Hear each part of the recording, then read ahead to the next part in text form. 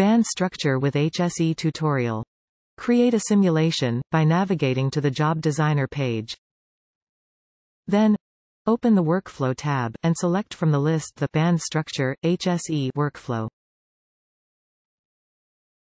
Then, open the unit component of the first preliminary SCF subworkflow, and inspect the Quantum Espresso input file displayed at the bottom. This step is necessary for defining the grid of k-points, which will later be extracted manually in the subsequent step.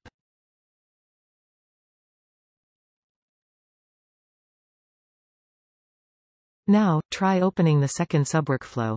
It is used to manually extract the k-points, together with their respective weights, and insert them as an explicit list inside the input script for the final HSE calculation, with the help of regular expressions.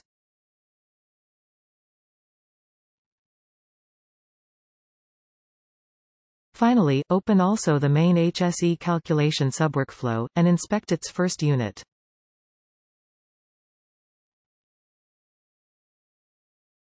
Notice how the grid of special k-points is not generated automatically, but is defined manually by importing the list of k-points extracted in the preceding subworkflow. After that, navigate to Compute tab, and set Compute configuration. Here, we use one node with 16 cores on the OR16Q, since the HSE method is quite computationally expensive. Then, set the name for the job. Here, we call it HSE band structure QE job.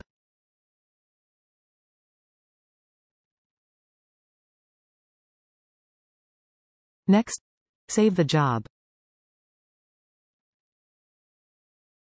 It can then be selected and submitted to the compute queue, for execution. The status of the calculation will change from pre-submitted to submitted, and then to active. Please wait, until the job has finished running.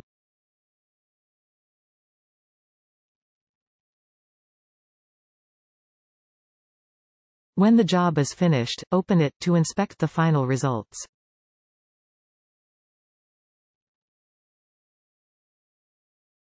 The band structure dispersion plot can be found at the bottom of the results page. This final result is in agreement with the published literature. This completes the present tutorial.